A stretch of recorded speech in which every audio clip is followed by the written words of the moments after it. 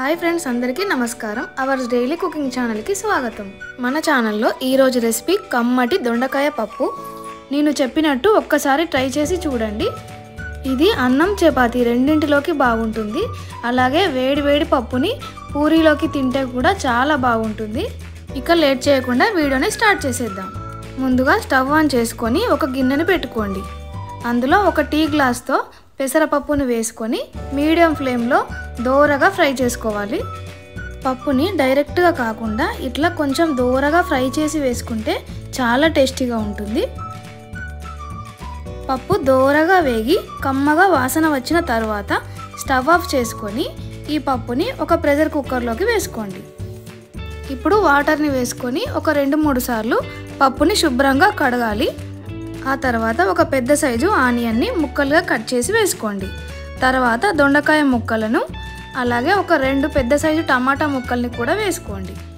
నేను ఇక్కడ దొండకాయలని one fifty grams వరకు తీసుకున్నాను. మీరు కావాలనుకుంటే పావు కేజీ కూడా వేసుకోవచ్చు. తర్వాత ఒక పావు టీ స్పూన్ పసుపును ఒక టేబుల్ స్పూన్ ఆయిల్ని వేసుకోండి. ఇప్పుడు ఇవన్నీ మునిగేంత వరకు వాటర్ని వేసుకోండి. ఇప్పుడు మూత పెట్టి స్టవ్ ఆన్ చేసి స్టవ్ పైన పెట్టుకోండి. పప్పును మూడు విజిల్స్ వచ్చే వరకు మీడియం ఫ్లేమ్లో ఉడికించుకోవాలి.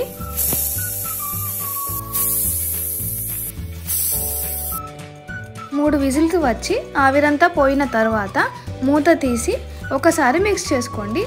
పప్పు చక్కగా ఉడికిపోతుంది.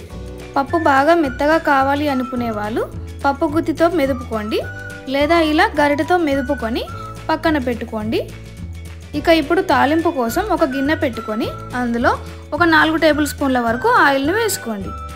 ఆయిల్ వేడెక్కిన తర్వాత హాఫ్ టీ స్పూన్ ఆవాలు వేసుకొని అవి కాస్త చిటపటమన్న తర్వాత ఒక రెమ్మ కరివేపాకు అలాగే దంచి పెట్టుకున్న పది వెల్లుల్లిని వేసి ఒకసారి మిక్స్ చేసుకోండి.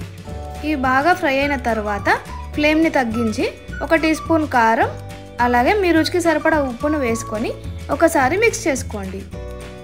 ఇక ఇప్పుడు ముందుగా ఉడికించి పెట్టుకున్న పప్పును వేసుకోవాలి. ఉప్పు కారం మొత్తం పప్పుకి పట్టేలాగా ఒకసారి కలుపుకొని పావు టీ స్పూన్ జీలకర్ర పొడి హాఫ్ టీ స్పూన్ ధనియాల పొడి వేసుకొని ఒక నిమిషం పాటు పప్పుని వేడి చేసుకోండి. అంతే కమ్మటి దొండకాయ పప్పు రెడీ. ఇప్పుడు స్టవ్ ఆఫ్ చేసుకొని సర్వింగ్ బౌల్లోకి సర్వ్ చేసుకోండి. ఈ వీడియో కనుక మీకు నచ్చినట్టయితే లైక్ చేయండి షేర్ చేయండి. ఇంతకు ముందు పెట్టిన వీడియోస్ని కూడా చూడండి. నచ్చితే సబ్స్క్రైబ్ చేసుకోండి. Bye bye